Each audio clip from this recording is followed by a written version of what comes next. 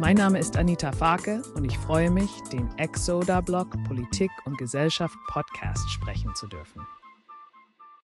Ich habe die Dokumentation gesehen und kann mitreden. Ich kenne die AIDA und mir fiel auf, dass sie einseitig erfasst und keineswegs ergebnisoffen erscheint. Es ist offensichtlich, dass neutrale Berichterstattung anders aussieht. Als ich darüber nachdachte, vor allem im Zusammenhang mit dem deutschen öffentlich-rechtlichen Rundfunk, wurden mir journalistische Grundsätze wie Objektivität, Ausgewogenheit und Sorgfalt bewusst. Diese sollten eine hohe Priorität haben. Ich finde es wichtig anzumerken, dass der öffentlich-rechtliche Rundfunk eine Verpflichtung gegenüber seinem Publikum hat, unparteiisch und ausgewogen zu berichten, unabhängig von persönlichen Vorlieben oder politischen Überzeugungen.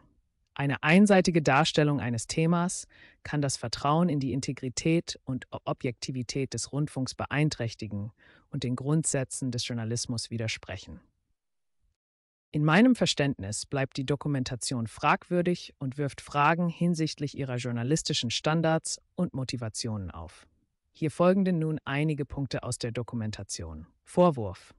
Der Frühbucherrabatt von AIDA Cruises sei nicht echt da oft Reisen, die kurz vor Reisebeginn gebucht werden, günstiger sind.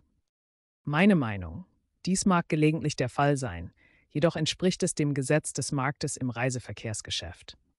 Es ist ein allgemeines Prinzip, dass die Preise für Reisen je nach Angebot und Nachfrage schwanken können. Das bedeutet, dass diejenigen, die bereit sind, frühzeitig zu buchen, häufig von attraktiven Frühbucherrabatten profitieren können. Diese Rabatte dienen nicht nur dazu, Kunden frühzeitig zu binden, sondern auch dazu, die Buchungszahlen zu erhöhen und eine bessere Planbarkeit für das Unternehmen zu gewährleisten.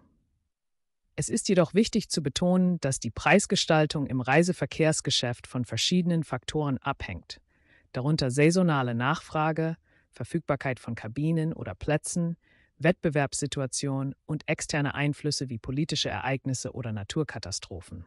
Daher kann es vorkommen, dass kurzfristige Buchungen zu einem günstigeren Preis angeboten werden, insbesondere wenn das Unternehmen versucht, Restplätze zu füllen oder Last-Minute-Angebote zu promoten. Letztendlich liegt es im Interesse der Kunden, ihre individuellen Bedürfnisse und Präferenzen zu berücksichtigen, wenn sie eine Reise buchen. Während einige sich für Frühbucherrabatte entscheiden und die Sicherheit einer rechtzeitigen Buchung bevorzugen, ziehen andere möglicherweise spontane Entscheidungen und nehmen in Kauf, dass sie nicht von Rabatten profitieren können. Es handelt sich also um eine normale Praxis im Reiseverkehrsgeschäft, die darauf abzielt, den unterschiedlichen Bedürfnissen der Kunden gerecht zu werden und keine unkorrekten Marktpraktiken seitens der Unternehmen impliziert. Vorwurf. Bei Getränkepaketen wird dem Zuschauer vorgegaukelt, es könne sich nicht lohnen. Meine Meinung. Dies ist erkennbar daran, dass es oft nur um den Alkoholkonsum geht. Ein Getränkepaket beinhaltet jedoch nicht nur alkoholische Getränke, sondern auch eine Vielzahl anderer Getränkeoptionen. Betrachten wir zum Beispiel meine persönliche Situation. Ich konsumiere täglich allein beim Frühstück fünf Tassen Kaffee, die im Getränkepaket enthalten wären. Ohne das Paket müsste ich diese Kaffeegetränke am Frühstücksbuffet extra bezahlen besonders wenn ich bestimmte Kaffeesorten wie Crema bevorzuge. Es ist wichtig zu erkennen, dass Getränkepakete oft eine breite Palette an Getränken abdecken, was sie zu einer praktischen und potenziell kostensparenden Option macht, auch wenn man keinen Alkohol trinkt. Daher ist die Vorstellung, dass sich Getränkepakete nicht lohnen, möglicherweise nicht immer zutreffend und sollte individuell bewertet werden. Vorwurf Trotz des Kaufs eines Getränkepakets fallen zusätzliche Kosten an. Meine Meinung. Als Reisende waren uns diese zusätzlichen Kosten im Voraus bekannt. Die Preise für Getränke, die nicht im Paket enthalten sind, sind in den Getränkekarten deutlich ausgewiesen. Es gibt also keine Überraschungen in Bezug auf die Kosten für zusätzliche Getränke, da dies transparent kommuniziert wird. Es ist wichtig zu verstehen, dass das Getränkepaket bestimmte Getränke abdeckt, jedoch nicht unbedingt alle Getränkeoptionen an Bord. Daher können zusätzliche Kosten entstehen, wenn man Getränke wählt, die nicht im Paket enthalten sind. Diese Transparenz ermöglicht es den Passagieren, fundierte Entscheidungen zu treffen und ihre Ausgaben entsprechend zu planen.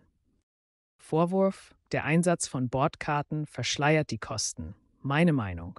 Jeder, der im Alltag mit Karten zahlt, weiß, dass man die Ausgaben im Blick behalten muss. Die öffentlich-rechtlichen Sender machen sich lächerlich, wenn sie das als intransparent darstellen.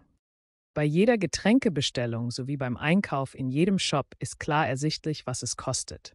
Sein Bordkonto kann man jederzeit selbst leicht einsehen und nachvollziehen. Daher ist es irreführend zu behaupten, dass der Einsatz von Bordkarten die Kosten verschleiert. Im Gegenteil, die Transparenz der Kosten wird durch die Möglichkeit, das Bordkonto jederzeit einzusehen, gewährleistet. Vorwurf. Angeblich wird man ins Theatrium gelockt, um Geld auszugeben. Meine Meinung? Wir bieten ein umfangreiches Unterhaltungsprogramm an, zu dem auch Vorführungen im Theatrium gehören. Die Darstellung, dass dies lediglich dazu dient, die Passagiere zum Ausgeben von Geld zu verleiten, ist äußerst fragwürdig. Ähnliche Situationen finden sich beispielsweise auch bei Kinobesuchen, wo zusätzliche Verkaufsangebote wie Snacks und Getränke präsentiert werden. Es gibt zahlreiche Beispiele, bei denen solche zusätzlichen Angebote nicht als unkorrekt oder verwerflich angesehen werden. Es ist also nicht gerechtfertigt, das Unterhaltungsprogramm an Bord so darzustellen, als sei es allein dazu bestimmt, Passagiere zum Geldausgeben zu bewegen. Das Theatrium auf einem IDA-Schiff ist in der Regel der zentrale Veranstaltungsort für Shows, Konzerte und andere Live-Unterhaltung. Es ist ein großer Theatersaal, der oft über mehrere Decks reicht und mit modernster Bühnentechnik ausgestattet ist.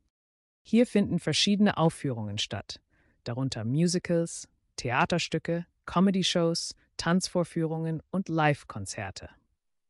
Das Theatrium auf Ida-Schiffen bietet Platz für eine große Anzahl von Passagieren und ist so gestaltet, dass von jedem Sitzplatz aus eine gute Sicht auf die Bühne gewährleistet ist.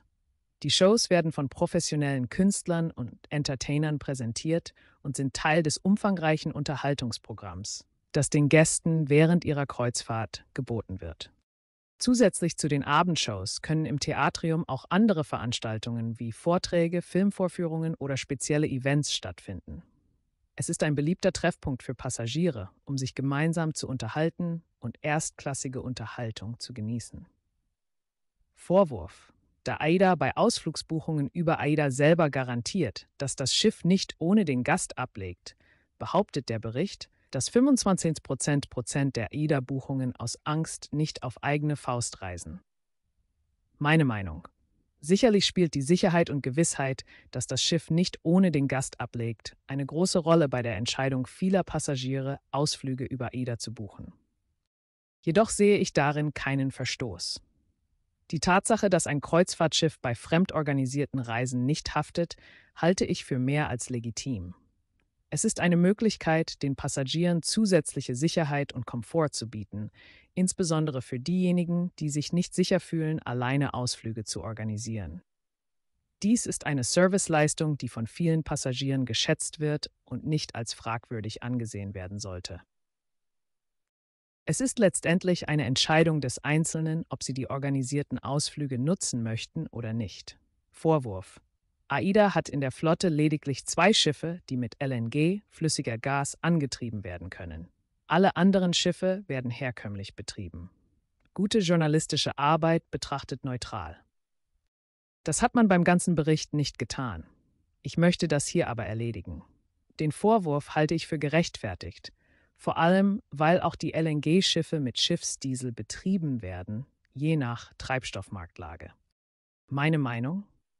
Der Vorwurf ist gerechtfertigt, da eine neutrale und ausgewogene Berichterstattung wichtig ist, um ein objektives Bild zu vermitteln.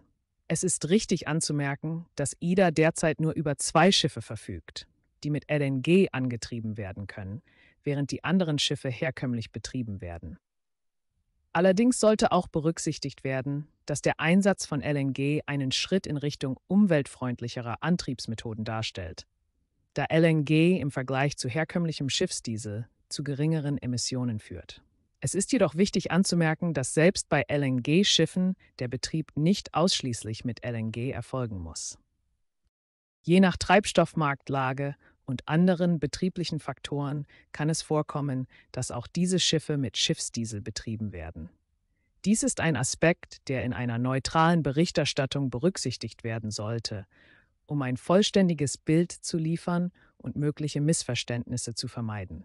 Vielleicht hätten die Macher dieser Dokumentation einfach mal ähnlich verfahren sollen und nicht unterschwellig marktwirtschaftliche Grundprinzipien als unmoralisches Vergehen darzustellen. Nicht, dass mir die AIDA persönlich wichtig wäre, aber die Dokumentation lässt für mich auch andere Recherchen von ZDF Info in anderem Licht erscheinen. Nicht bei jeder Doku kann ich selber bewerten, wie ehrlich ein Bericht ist. Hier glaube ich das zu können. Danke fürs Zuhören. Denk immer an eine möglichst nette Bewertung, um uns zu unterstützen.